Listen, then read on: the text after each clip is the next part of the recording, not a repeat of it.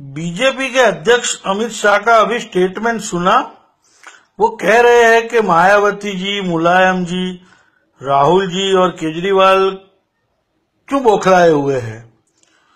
तो अमित शाह, मैं आपको ये कहना चाहता हूँ कि गरीब जनता के लिए कोई बोलेगा नहीं।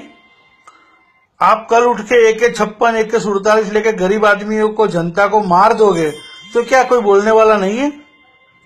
और मैं खुद आपको कहता हूँ चैलेंज लगाता हूँ, आप नारायणपुरा विजयनगर रोड में रहते थे, मैं भी वहाँ का ही रहने वाला था पहले, और मैं आपको कहता हूँ, आप नारायणपुरा सीट से जीते हो और सरखेज सीट से जीते हो, बिना बिना कमांडो आप आज की तारीख में आ जाओ, बिना कमांडो वहाँ आप तुम्हारी खुद की असेंबली में घूमो। ये नारायणपुरा, नवरंगपुरा की पब्लिक तुम्हें आज की तारीख में बिना कपड़े दौड़ाएगी साहब। इतना पावर मत करो आप। ये कोई सही बात नहीं है। सत्ता का लोभ और सत्ता के लिए आप गलत काम मत करो। और आपने इस बार महिलाओं की छाती पे वार किया है। महिलाएँ गरीब महिला हो या मिडिल क्लास की महिला है, उसने 500 की, हज़ार की नोट, दो, चार, पाँच, दस या बीस जमा क्यों करती है वो?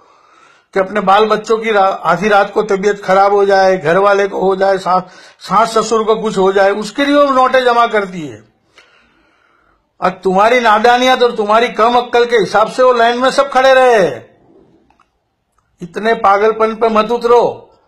ये जनता बहुत कुछ कर सकती है।